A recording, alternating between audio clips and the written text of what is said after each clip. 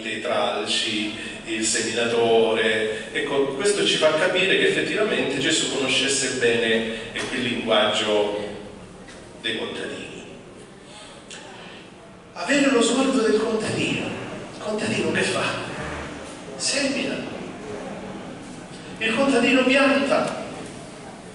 Il contadino, dopo aver fatto quello che doveva fare, eh, lascia da terra il tutto. Certo, lui fa il suo dovere, ma poi cosa deve nutrire il contadino in sé? La speranza, la fiducia, che la stagione vada bene, che il tempo vada anche bene e che quello che, quello che è stato piantato possa rifiorire e portare buoni frutti. Ecco allora il tempo dell'avvento. È un tempo di gestazione ci sono delle mamme in mezzo a voi, no? Eh? Ci sono. Avete vissuto il periodo della gestazione quando portavate no, il vostro figlio, i vostri figli in grembo. Che tempo è stato quello lì? Credo sicuramente di fiducia, un tempo di attesa. Possiamo anche dire un tempo di prova, un tempo di sofferenza, tempo in cui bisognerà cercare di stare attenti eh? non far soffrire anche quella vita che c'era dentro, con l'attesa, con la speranza che arrivasse finalmente quel giorno, un giorno se vogliamo di sofferenza, ma anche di grande gioia. Ecco l'avvento, carissimi, questo è l'avvento. E allora è un tempo di gestazione, è un tempo in cui ciascuno deve sentirsi dentro questo regno di Dio, perché Gesù ce l'ha detto. Il regno di Dio non è qualcosa che dobbiamo aspettare. Certo, arriverà l'ultimo giorno quando ecco, Gesù arriverà nella seconda sua venuta, vegliate, perché non sapete né il giorno né l'ora, dobbiamo stare sempre in questo, questa dimensione di attesa ma mai paurosa, ricordiamocelo. Dobbiamo essere paurosi. Se il Signore ci dice che dobbiamo vegliare, lo stare attenti è quello stare attenti della gestazione, eh? che si porta in sé qualcosa di prezioso. Quindi se il Signore ci dice di stare attenti è perché ha messo in ciascuno di noi qualcosa di prezioso.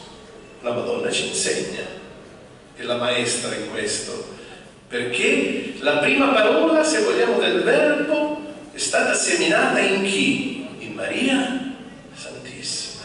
E il verbo si è fatto carne in Maria, no? E poi venne ad abitare in mezzo a noi. Ecco carissimi, anche noi in piccola parte siamo chiamati a vivere questa, se vogliamo, questa gioia dell'avvento è anche una gioia. Sapere che il Signore in ciascuno di noi ha seminato la sua parola.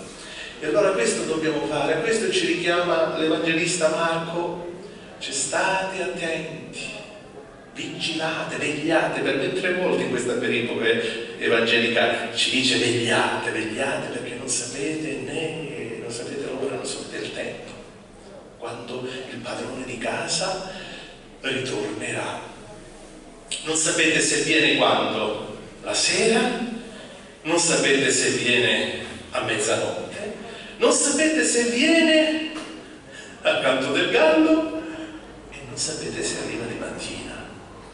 Certo, sono orari in cui eh, ci trova vulnerabili. È un tempo della notte. Per se ci dice vegliate, quando è che si deve vegliare? Di giorno? Di giorno non c'è bisogno perché ci viene facile essere vigili, attenti, svegli. È nella notte che noi siamo chiamati a vegliare. E carissimi, questa notte è la nostra notte. La notte di ciascuno di noi, quello che stiamo vivendo. Potremmo paragonare la nostra vita, anche le nostre situazioni giornaliere a questa notte Pensiamo alla notte dell'umanità intera, questa notte purtroppo di questa pandemia, dove purtroppo ecco, ci ha resi veramente, questa pandemia ci ha, ci ha catapultati in questo buio. Capiamo ben poco di quello che sta succedendo purtroppo. Ed è un buio. Ed è proprio in queste notte dell'esistenza dell'umanità che noi dobbiamo, carissimi, vigilare, vegliare, stare attenti. Stare attenti a che cosa? A non lasciarci prendere dal pessimismo, dalla disperazione, dal nervosismo, da tutte quelle cose che purtroppo poi invece di migliorarci, perché questo coronavirus è venuto per metterci alla prova, ricordatevelo che questo non è che va fuori controllo, non è che è qualcosa che eh, Dio non stia tenendo sotto controllo, eh? l'ha permesso. Ed è qui che noi dobbiamo riflettere, carissimi. Perché Dio ha permesso questa prova? Perché? Cosa ci vuole dire? E tra me e me scherzosamente dico, ma guarda questo Dio come si diverte. Sembra quasi a giocare con l'uomo, no? quasi come uno, un giocattolino che lo butta lì nel mondo. Coronavirus. Io dicevo tra me e me, forse Dio fa giocare un po' l'uomo a fare lì il capo, il padrone. Sì, dice Dio, fai il padrone. Sì, impadronisciti di tutto. Impadronisciti del mondo, dei mari, del petrolio, delle montagne, della terra. Sì, gioca a fare il padrone, il capo. E questo gioco a fare il padrone dove ci ha portati? Adamo ed Eva, il peccato di Adamo ed Eva dove li ha condotti? A coprirsi con la foglia di fico. A non la mascherina. ci ha messo la mascherina, cosa voler dire? Voi che pensavate di poter essere e fare i padroni di tutto, non siete padroni nemmeno di voi stessi, che se non mettete una mascherina morite. Ma noi non cambiamo! E mi ricordo questa esclamazione, la moglie era di quel poliziotto che è morto dall'antimafia nell'attentato, quando diceva, ma loro non cambiano. Ve lo ricordate questa frase? No? Eh? pare proprio di sentire quella voce, ma loro non cambiano, siamo noi, ma noi non cambiamo. Non ci basta niente per cambiare. E allora carissimi, ecco cosa significa stare attenti, vigilare, tornare a quelle cose importanti. Pensare che la vita non vale in base, eh, non ci vuole Gesù, pensa a quello che vesti, che mangi, il titolo che hai, la casa lussuosa, la macchina di lusso, la macchina veloce. Non è questo. Queste sono le dissipazioni, non trascorrete questo tempo in orge, dissipazioni e tutte quelle cose della vita che vi fanno addormentare. Quindi vigilare significa stare attenti e far sì che tutto ciò che ruota attorno a noi, quel mondo che ruota attorno a noi, non soffochi questo segno della parola di Dio e della nostra fede. Ricordate la parabola del seminatore? Sì? Dice una parte è caduta nelle spine e le spine hanno soffocato quel seme. Allora carissimi, affidiamoci alla Madonna e io raccomando a voi, lo dico a me stesso, è un tempo di preghiera. Guardate che da, soli non arriveremo da nessuna parte. Non siamo così bravi a diventare santi da soli. Non saremo così bravi a somigliare alla Madonna da soli. La Madonna pregava ed era la Madonna. Pensate a Gesù. Cosa ci insegna la scrittura? Che Gesù, l'altra sera, leggendo il Vangelo, sono andato oltre al Vangelo del giorno e cosa ho trovato scritto? Che Gesù addirittura durante le notti andava a dormire negli ulivi, negli uliveti. vegliava tra la natura. E se Gesù, come Dio, ha avuto bisogno di ritagliare questo momento di preghiera, di intimità con Dio, noi chi siamo per vivere senza preghiera, per vivere senza questi momenti importanti? E allora che l'Avvento, carissimi, possa diventare per ciascuno di noi un tempo, ecco, di incontro con il Signore. Perché la preghiera non è dire tante preghiere, non è dire tante parole, ubriacare il Signore e la Madonna con i nostri vocalizzi. Preghiera è innanzitutto incontro. E se tu hai la fortuna, e se già l'hai avuta, ringrazia il Signore, ringrazia la Madonna, ma se venendo alla novena hai la fortuna di sentire ancora di più questa, no, questo incontro, dice Signore, che bello, non c'è cosa più bella che sentire questa vicinanza di Gesù e di Maria nella nostra vita. Se tu hai questo, hai tutto, non avrai più paura di niente. Ci insegnano i padri della Chiesa, specialmente in queste mattinate, ecco, nell'ufficio, chi legge l'ufficio delle letture, vede che i padri della Chiesa addirittura ecco, paragonano questo tempo come il tempo ultimo, cioè l'uomo in vista del regno di Dio, del paradiso. E se noi carissimi, noi aspiriamo al paradiso, perché la Madonna non ebbe un taccio a dirci nient'altro che a portare il paradiso in mezzo a noi, a differenza di noi che portiamo l'inferno, eh? e ricordiamocelo, eh? questi giorni tornando a casa portiamo queste perle di paradiso, con i mariti, con le mogli, con i figli, se riusciamo, ecco, facciamo respirare quest'aria di paradiso, perché la Madonna questo vuole da noi.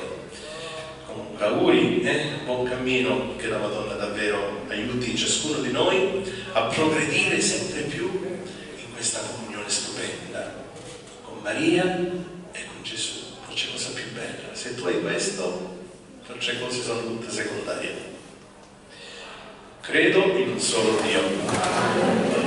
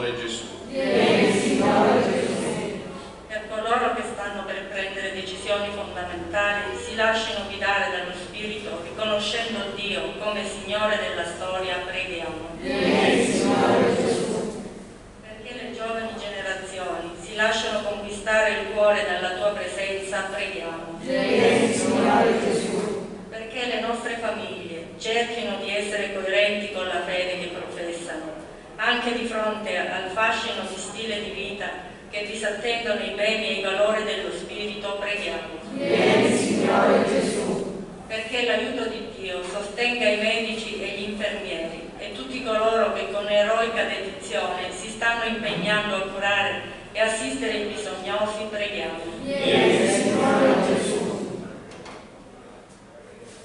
O Padre, rimani con noi e sostienici perché da soli non possiamo fare nulla. Te lo chiediamo per Cristo nostro Signore. Amen.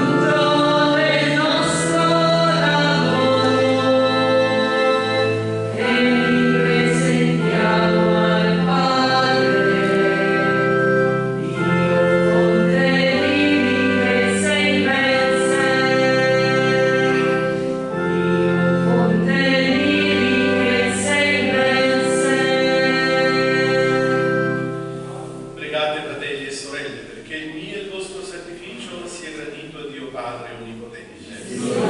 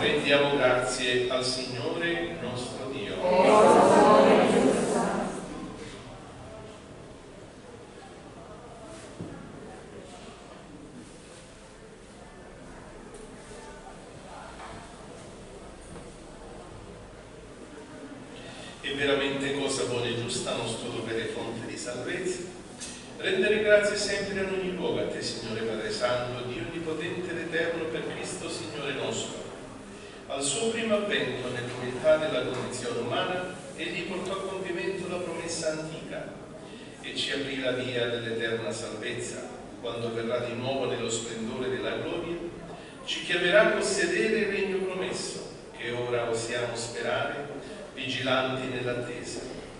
E noi, uniti agli angeli e agli arcangeli, ai troni e alle dominazioni, e alla moltitudine dei cori celesti, cantiamo con voce incessante, digno de la tua gloria.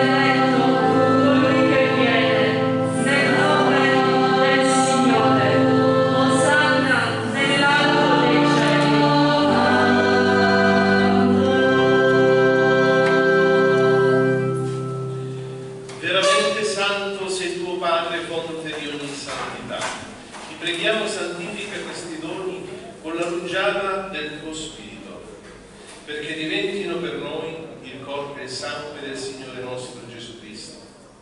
Egli, consegnandosi volontariamente alla passione, prese il pane, rese grazie, lo spezzò, lo diede ai suoi discepoli e disse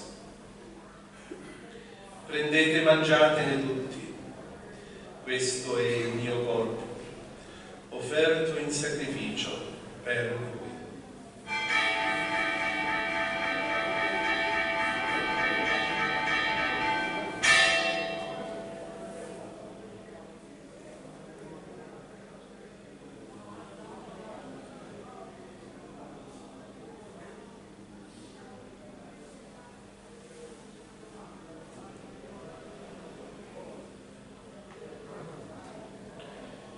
Allo stesso modo, dopo aver cenato, prese il calice di nuovo, ti rese grazie, lo diede ai suoi discepoli e disse, prendete e bevetene tutti, questo è il calice del mio sangue, per la nuova ed eterna alleanza, versato per voi e per tutti, in remissione dei peccati.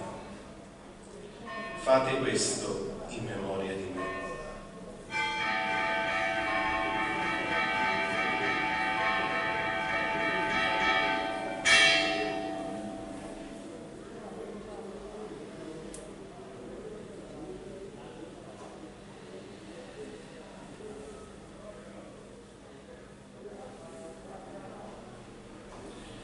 Mistero della fede.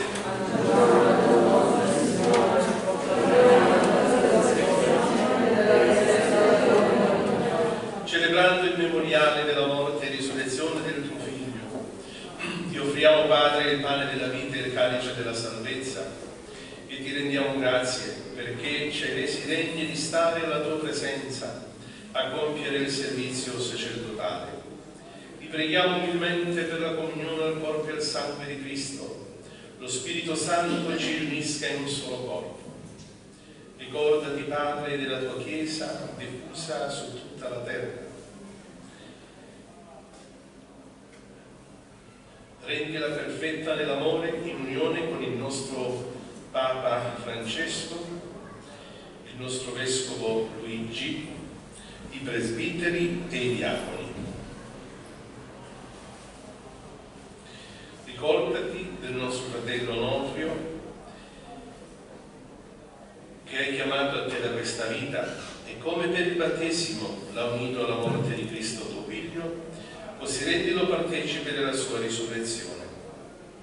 E nella tua misericordia di tutti i defunti, ammettili alla luce del tuo volto. Di noi tutti abbi misericordia, donaci di avere parte alla vita eterna, insieme con la Beata Maria, Vergine Madre di Dio, San Giuseppe suo sposo, gli Apostoli e tutti i santi che in ogni tempo ti furono graditi. E in Gesù Cristo tuo Figlio canteremo la tua gloria. E Cristo con Cristo